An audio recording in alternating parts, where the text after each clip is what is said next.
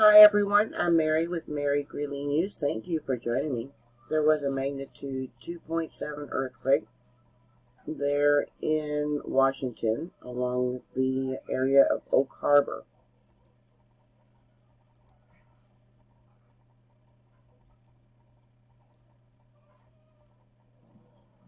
This was more than likely along the Tacoma Fault Line, which runs into uh, the Seattle Fault Line. And I've talked about the Seattle Fault Line, which is down here,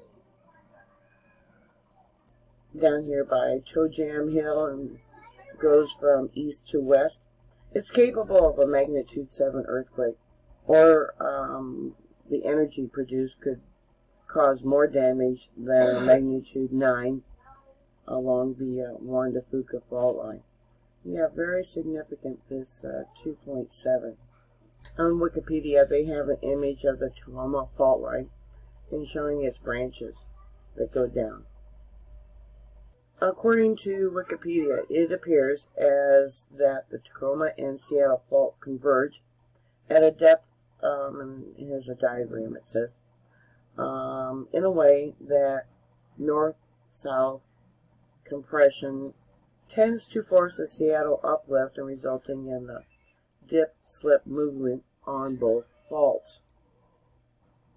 It's been hard to identify the different fault lines in this area because of urban development, vegetation, and natural erosion. The Seattle Fault was first recognized as a significant seismic hazard in 1992 when a set of reports showed that about 1,100 years ago, it was a scene of a major earthquake of a magnitude 7 and the event that entered Native American oral legend. The Seattle-Tacoma Fault are probably the most serious earthquake threat to the populous Seattle-Tacoma area. A 2002 study of bridge vulnerability estimated that a magnitude 7 earthquake on the Seattle fault would damage approximately 80 bridges in the Seattle-Tacoma area, whereas a magnitude 9 subduction event, that would be the Cascadia Juan de Fuca uh, faults, would damage only around 87 bridges in all of western Washington.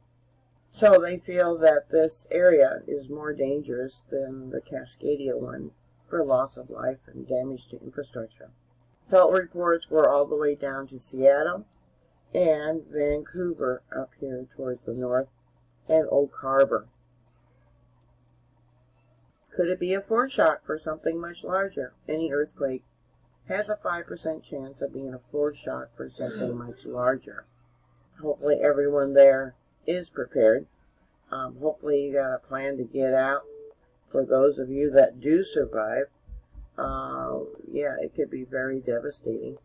And I really feel that we do have a large earthquake that will be coming um, sometime in the future. So did you feel this earthquake? Evidently only five people reported feeling it.